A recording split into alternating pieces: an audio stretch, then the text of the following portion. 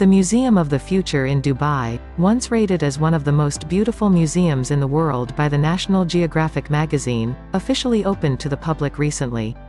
Unlike ordinary museums, which typically focus on history, the Museum of the Future presents the future before visitors.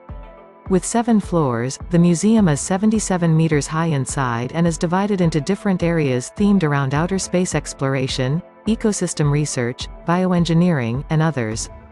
Walking into the main hall, one can immediately gain a futuristic feeling of a sci-fi blockbuster.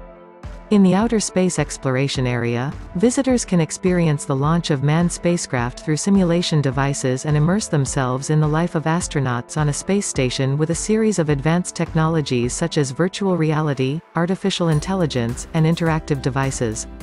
In the ecosystem area, multimedia devices make people feel as if they are in the Amazon rainforest.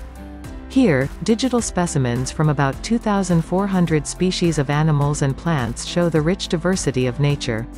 In addition, the museum also has an area dedicated to showcasing the latest technologies from all over the world in various fields including transportation, energy and food that are closely related to our daily lives.